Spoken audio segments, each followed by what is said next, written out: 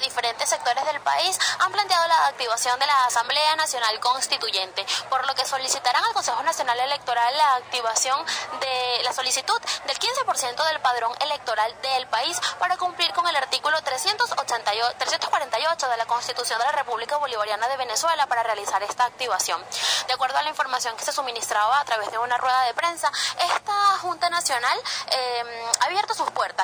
militantes de diferentes sectores políticos para realizar esta activación, que además plantea eh, la elección por a través de, de voto popular de otros cargos públicos, como la Fiscalía General de la República, el Contralor, eh, el Defensor del Pueblo y también los rectores del Consejo Nacional Electoral. Esta información, por supuesto, será ampliada para ustedes en la emisión estelar de Notiminuto. Reportó para ustedes desde el estado Anzuategui, Merian Brito.